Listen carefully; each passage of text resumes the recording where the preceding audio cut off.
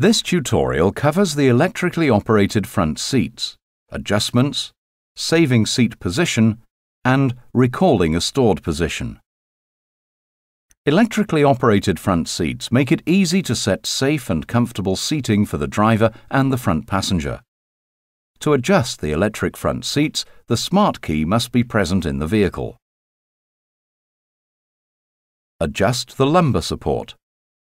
Adjust the backrest. Adjust the seat height. Adjust the cushion tilt. Adjust the position of the seat. Adjust the headrest.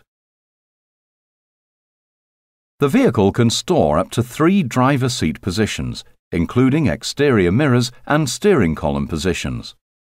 Three different drivers can achieve optimum comfort at the touch of a button. When you're satisfied with the seat adjustments, press the Memory Store button and within 5 seconds press the desired memory button 1, 2 or 3. To recall a stored seat position, simply press the desired preset button. The seat, mirrors and steering column will automatically move to the position in that preset.